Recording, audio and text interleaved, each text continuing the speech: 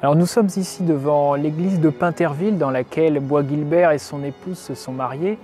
Lui était né à Rouen en 1646 et il s'essaye d'abord à une carrière dans la littérature. il traduit des œuvres, notamment euh, du répertoire grec.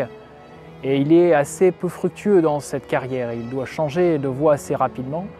Et il sait bien sûr qu'il est le second fils de la famille et qu'il n'héritera donc pas du domaine de Bois-Guilbert qui est situé un petit peu au nord de Rouen.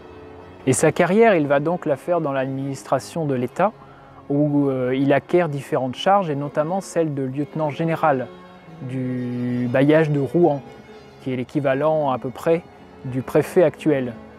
Et à cette charge qui est donc très honorable, il est en position très naturellement d'échanger ses vues, ses idées avec les ministres de l'époque.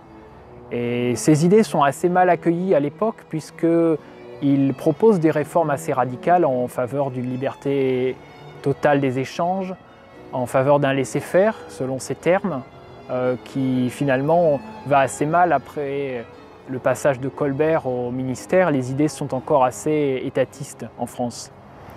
mais il ne désespère pas, il redouble d'efforts pour convaincre à travers des mémoires, des lettres, euh, très nombreuses à cette période, jusqu'au début du XVIIIe siècle.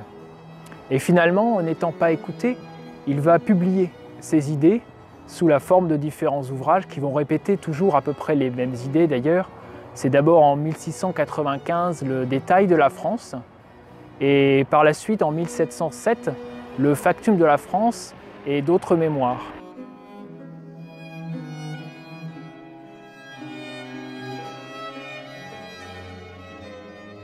Vers 1680, il s'installe dans ce château de Pinterville qu'il a fait construire sur le domaine de Pinterville qui appartenait à la famille de son épouse.